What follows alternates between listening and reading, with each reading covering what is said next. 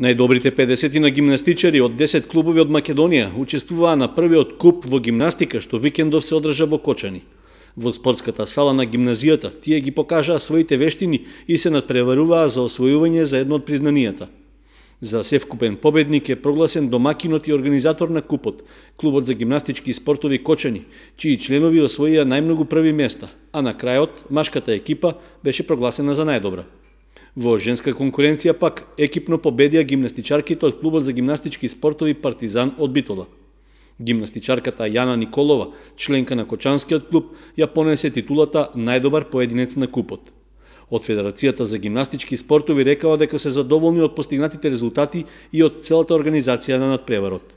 Федерацијата за гимнастички спортови на Македонија првпат одржува ваков куп. Тоа се донесе на извршен одбор одлука и не погрешиме бидејќи Кочани е со традиција има дајано многу гимнастичари, многу познати гимнастичари и гимнастичарки.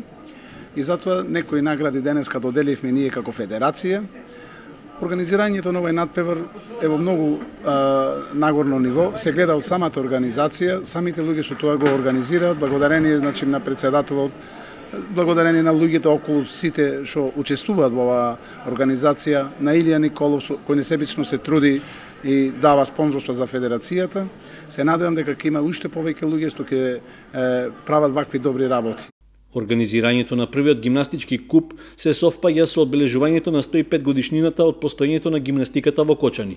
Тоа беше повод од страна на Федерацијата за гимнастички спортови на поголем број заслужни поединци кои во минатото дале свој придонес за незвиниот развој да им бидат доделени награди и признанија.